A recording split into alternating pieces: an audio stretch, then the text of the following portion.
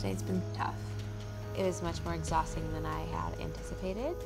After talking to Bennett and Noah, I'm really confused as to what I should be feeling right now.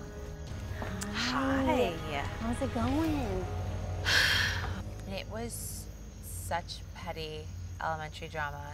And I was like, are we really dealing with this right now? They just don't like each other. At the end of the day, they're mm. just not gonna like each other. And so I'm frustrated.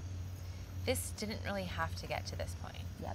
When you first went in there, was it tense? What was the vibe? Like, what what was that like? You know, there was definitely tension, but You not could all- feel it. Absolutely. Yeah. Um, Bennett was more on the defense, and Noah was more. He was genuinely nervous and anxious. Mm-hmm. But in addition to them, apparently Bennett brought Noah like a peace offering. Hmm. And inside of it was a book regarding emotional intelligence. Mm. But That doesn't sound like a peace offering to me. no, no, no, no, no. It's a very passive aggressive way of saying something. And it almost speaks to why Noah says Bennett's been condescending towards him.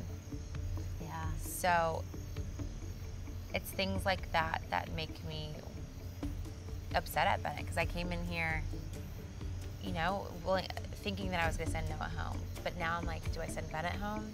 And so I'm, I'm just confused. Yeah, you're really confused. Mhm.